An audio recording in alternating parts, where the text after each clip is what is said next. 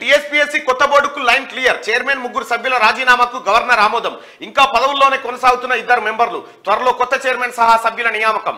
UPSC తరహాలో టీఎస్పీఎస్సీని తీర్చిదిద్దేందుకు సర్కార్ రెడీ. కొత్త బోర్డు రాగానే ముందుకు సాగనున్న రిక్రూట్మెంట్లు అంటూ ఒక వార్త.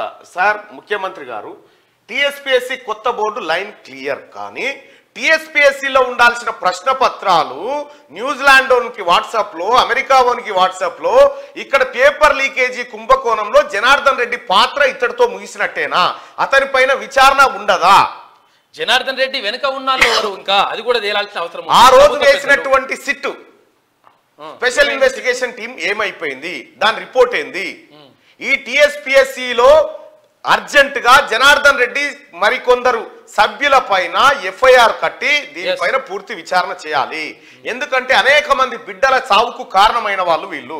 కాబట్టి వీళ్ళపైన ఎఫ్ఐఆర్ నమోదు చేయాలి విచారణ చేయాలి. వాళ్ళను శిక్షిస్తేనే మళ్ళీ వచ్చినోడు ఈ పని చేయడు.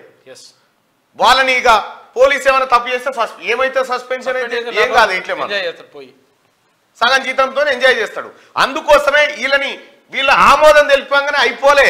వీళ్ళని విచారించాలి. వీళ్ళపైన కేసులు నమోదు చేయాలి. చైర్మన్ ముగ్గురు సభ్యుల రాజీనామా గవర్నర్ ఆమోదం. ఇంకా పదవుల్లోనే కొనసాగుతున్న ఇద్దరు మెంబర్లు పదవులలో రాజీనామా చేయరట. త్వరలో కొత్త చైర్మన్ సహా సభ్యుల నియామకం. యుఎస్ యూపీఎస్సీ తరహాలో టీఎస్పీఎస్సీని తీర్చిదిద్దేందుకు సర్కార్ రెడీ. కొత్త బోర్డు రాగానే ముందుకు సాగనున్న రిక్రూట్మెంట్లు అంటూ ఒక వార్తకి కొత్త చైర్మన్ ఎవరో? టీఎస్పీఎస్సీకి కొత్త చైర్మన్గా ఎవరు వస్తారన్న చర్చ మొదలైంది. కమిషన్లో చైర్మన్తో పాటు పది మంది సభ్యుల నియామకానికి ఛాన్స్ ఉంది. ప్రస్తుతం ఇద్దరు సభ్యులు ఇంకా రాజీనామా చేయకపోవడంతో వారిని కంటిన్యూ చేస్తారా లేదా అనే దానిపై ఒకటి రెండు రోజుల్లో క్లారిటీ రానుంది. ఇప్పటికే కొందరు ప్రొఫెసర్లు టీఎస్పీఎస్సీ చైర్మన్ పోస్టుకు మెంబర్ పోస్టులకు ఆ ప్రయత్నాలు మొదలుపెట్టారు. హెచ్సియులోని ఓ సీనియర్ ప్రొఫెసర్తో పాటు ఓయూ జేఎన్టీలోని ఒకరిద్దరు ప్రొఫెసర్లు చైర్మన్ పోస్ట్ కోసం ట్రై చేస్తున్నారు. అయితే రాష్ట్ర ప్రభుత్వం మాత్రం సీనియర్ ఐఏఎస్ ఆఫీసర్ లేదంటే ఐపీఎస్ చైర్మన్గా పెట్టాలనే ఆలోచనలో ఉన్నట్టు తెలుస్తుంది. కొత్త కమిషన్ రాగానే ఉద్యోగ నియామకాల ప్రక్రియ ముందుకు సాగనుందంటూ ఒక వార్తను చూస్తా ఉన్నాం. ఇక ఇటు కోదండరామ్ సార్ గాని అటు ఆకునూరి మురళీ సార్ గాని వీళ్ళిద్దరికి. అంటే ఏజ్ ఎక్కువైపోయింది. చైర్మన్ ఉంటే బాగుంటుంది. ఉంటే బాగుండేది.